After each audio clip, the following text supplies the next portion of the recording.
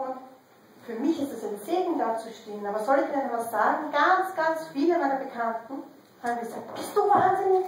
Du kannst dich nicht auf die Bühne stellen. Was ist, wenn du stolperst? Was ist, wenn du dich verredest? Was ist, wenn da böse Leute im Publikum sitzen? Schaut nicht so aus. Was ich damit sagen will, unsere Vorerfahrung sagt uns, unser Wissen sagt uns, ob das, was wir machen, ein Segen ist oder